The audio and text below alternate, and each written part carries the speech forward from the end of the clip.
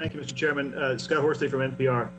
Uh, I, I, wonder if you can give us an update on the, the coin shortage that you talked to lawmakers about last month, and, and what, if anything, that tells us about the sort of economic circulatory system.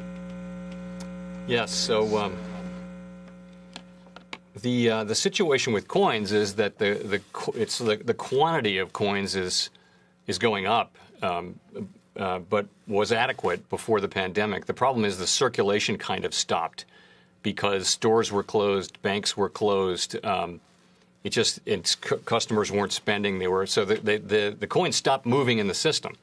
So we've been working for ever since that began to happen. We we saw it happening right away. We've been working um, to try to um, try to reverse that disruption of the supply chain and restore normal circulation for our coins. So we're working with the U.S. Mint, which is the issuing authority, to address the issue.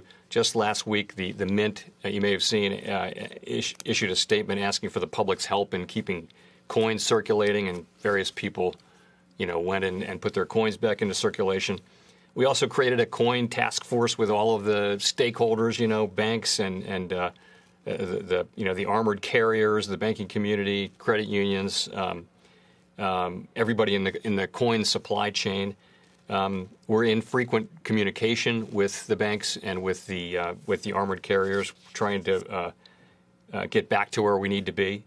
Um, so we do think the inventories are building up. You know, the mint the mint is is making coins as fast as it can, but but you know things happen with in, in the factory environment someone will come to work with COVID. I, I, think this has happened in, in almost every factory environment around the country, and then they'll shut down for a day, and then they come back, and that kind of thing. So, um, so we're closely monitoring it. It's um, you know it's a significant issue. We've we've we've got a lot of resources on it, and uh, we do feel like we're we're making progress.